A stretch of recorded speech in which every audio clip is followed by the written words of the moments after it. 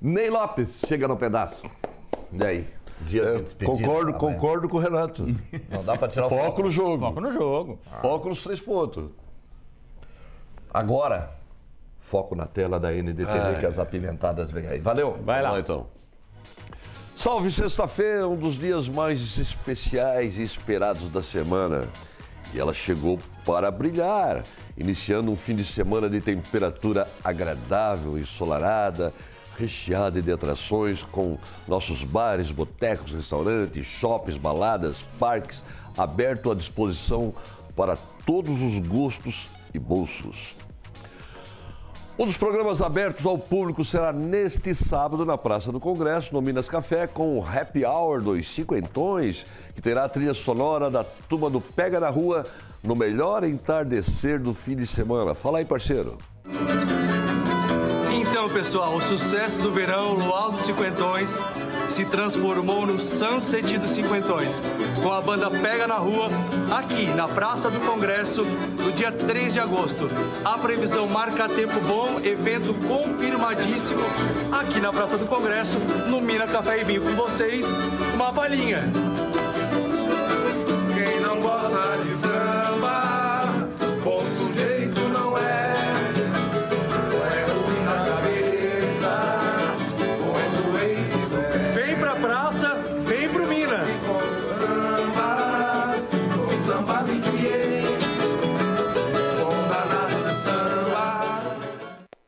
Na Flávio Spiller também está ali tocando seu cavaquinho. Meu amigo Sandro Araújo. Galera boa para curtir amanhã, sábado. Olha, o fato da semana foi dela, da deputada cristiumense Júlia Zanata, que voltou novamente à cena em rede nacional ao fazer um requerimento à Casa Civil do governo federal com um pedido de explicação sobre a ida e a presença da primeira-dama Janja da Silva em Paris, acompanhada por uma equipe de assessores. Disse a deputada, protocolei requerimento para saber quanto a dona Janja gastou do nosso dinheiro em mais uma viagem, mesmo sem ter cargo nenhum.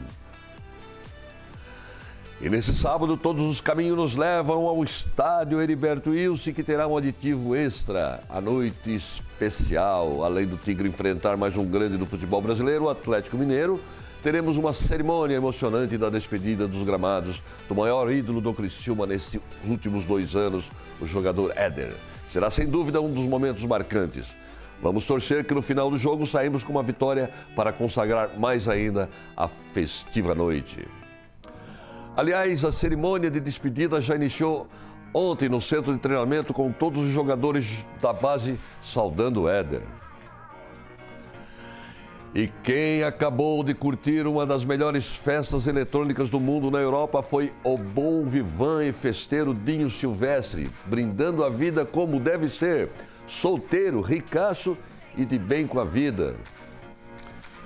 Outro jovem casal cristiumense que, se- que deu um rápido rasante por Paris para acompanhar o início das Olimpíadas foi a modelo Mana Naspolini e o marido Tiago Dil Souza.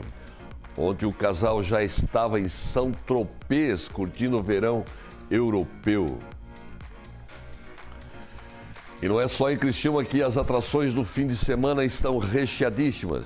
Em Sara, a terra do mel e agora também do picolé, está rolando desde quinta-feira na Praça da, da Igreja da Matriz a Festa das Etnias, com programação cultural, artísticas e principalmente gastronômica, temperado com vários shows regionais. De acordo com os organizadores da festa, e os shows, os shows só iniciam após a missa. Quem também estará em festa nesse domingo é o Principado do Caravaggio, mas desta vez não tem nada a ver com a santa de seu santuário, e sim com seu time que joga em Jaraguá do Sul a primeira partida da decisão pelo acesso à Série A do Catarinense. E eu encerro meu quadro desta sexta-feira com essa imagem de ontem no centro de treinamento do Criciúma, com os jogadores da base aplaudindo o último treino do jogador Éder como atleta profissional do Tigre.